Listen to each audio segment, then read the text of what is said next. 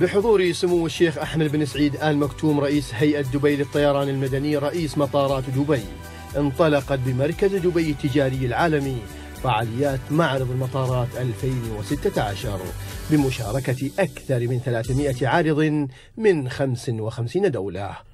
ومن المتوقع أن تجذب الدورة الحالية لهذا الحدث والتي تقام على هامشها الدورة الرابعة من منتدى قادة المطارات العالمية والدورة الثالثة من معرض تموين المطارات ما يزيد على عشرة آلاف زائر من المهنيين في صناعة المطارات.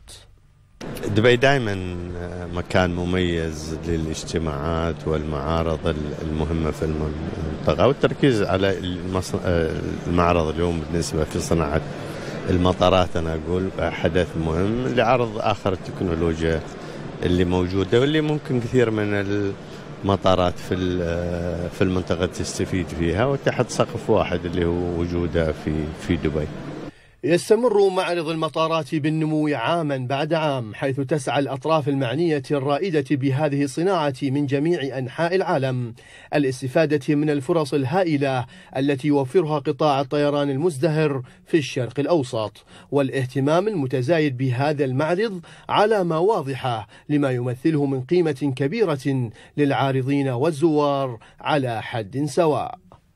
تعرف يعني أن هذا المعارض هذه مهمة جدا جدا حتى نواكب رؤية سيدي صاحب السمو الشيخ محمد بن راشد حتى نكون نحن الأول في كل المجالات. فيجب إقامة هذه المعارض يجب إرسال الكبار المسؤولين إلى المعارض الدولية حتى يتماشوا مع آخر تطورات التكنولوجيا وآخر تطورات المعدات لتقديم الخدمات والتسهيلات في مطار دبي.